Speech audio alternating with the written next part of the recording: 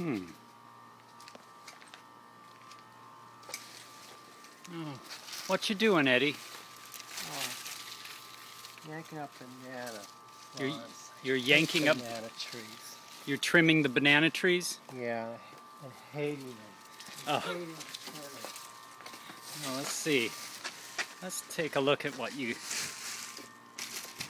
Oh my God! Oh, you you you almost filled this up. Yeah, this is the bag that's sprung a leach and liquid disposal. The- We've got to leave all the bags behind. This is the one they noticed was leaking. Oh, right, because this this this was the bag that uh, the city wouldn't pick up because we, we filled it with dry with with like these heavy pieces of drywall, and they and uh, and they they don't. We found out they don't take drywall, so so we had to empty it out. And we were and so Eddie Eddie got the idea that we should crush up the drywall and Yeah. use it as rocks, Right, that's and that's what we're doing. It's a little guard walkway. We'll go up behind there and around Mhm. there, and around the ash tree and up the other side.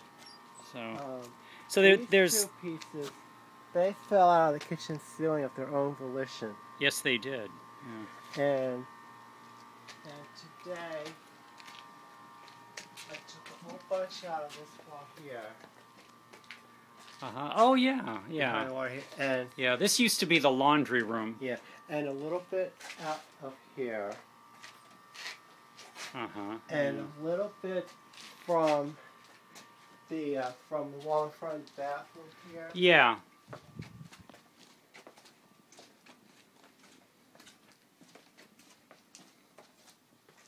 Hmm. This thing above. Which, Oh, uh, yeah, I can't- Which, it's- hides the it's- uh, it's too dark. It's too dark for me to see it. Let me see.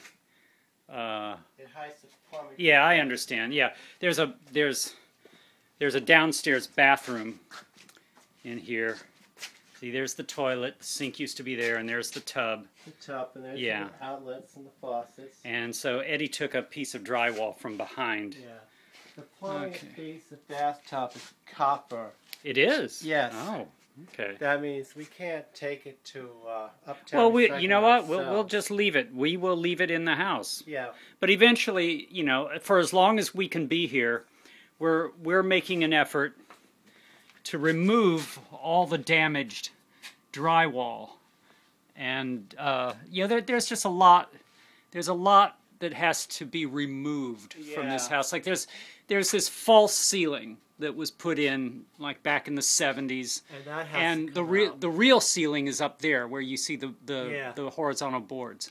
Um, They and- put and fake false they put in this this low, lower one to hide pipes and electrical uh, conduit and things like that. But they went overboard. Yeah, yeah, it's just too low. It's like, you know, it's like I'm six feet tall and this low ceiling is just like a few inches above my head. It's not even up to code. Yeah, well, the the thing is though, we could you know we could pull out like all these, you know, they use two by fours to put in this fake ceiling, which is really heavy. That's really overbuilding it. But we can pull these down and use use this lumber for something else. Yeah, I think code requires eight feet ceilings, or at the very least seven feet six inches. Mm-hmm. Well, well, we could use we can use in a, in a house like this. You can use the the underside, the beam, and the underside of the floor as a ceiling. See that that could be painted white, yeah, and that that could be a ceiling, and that that's fine. yeah, the pipes can be evicted to the perimeter. Right, right. That way.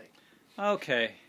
Anyway, I just wanted to see what you were doing. So Okay. okay, thank you, Eddie. Sure.